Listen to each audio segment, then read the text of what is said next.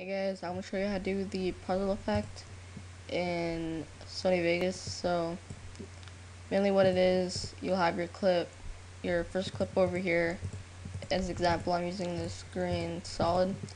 And your second clip will come up as kind of like a puzzle. But yeah, let's get started. So first, get your first clip. Um, you can slow-mo it at the end if you want. And um, in your second clip, you want to find a frame where it's easy to mask and stuff. So I'll just use this one and make sure it's at best full for the best quality. Then right here, just save and save it wherever. And it should come up right here. What you want to do is you want to press Control Shift Q. Oops. And then you video layer should come up and just put that on top and I'll just put that right there.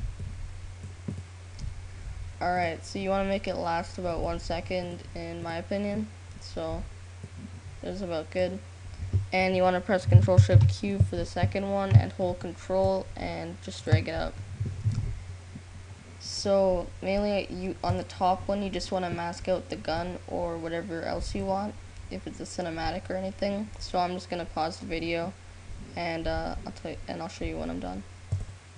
Alright, I'm done, and um, Sony Vegas masking will help you a bit.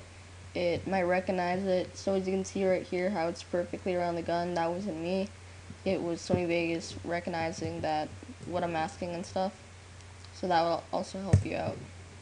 So now if I go here and I turn this bottom at the bottom to zero opacity, um, as you can see I have my gun. It's not the best masking, but just for the sake of the tutorial. And um, what you want to do is you just want to go to click on the top layer and you want to hold shift. And um, it should go down perfectly when you're holding shift. And then go to like 36 seconds 30 seconds and just right click and click restore. And I'm to make this a bit longer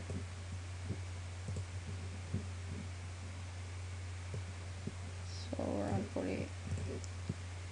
And um, now you just want to find where the it's like right there or whatever. And um, in the middle of the process when your gun's coming out, I'll do. You might want to do it at the ending because it will look kind of bad. So I'll let it start right here. As you can see, this is just the frame without any masking. Should be at the bottom. Then go to transitions and choose any transition you really want. Uh, I'm just going to use the first one, for example. And um, I'll let it play for you guys.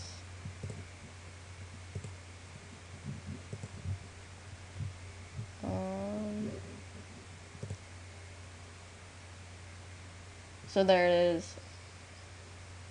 Um, it's really easy to do once you get the hang of it, but that's mainly the tutorial. I'll show you, you I'll show you it one more time. So here's your first clip playing, which is a green screen for me. And then it should come out. And then there you go. So that's the tutorial. Bye.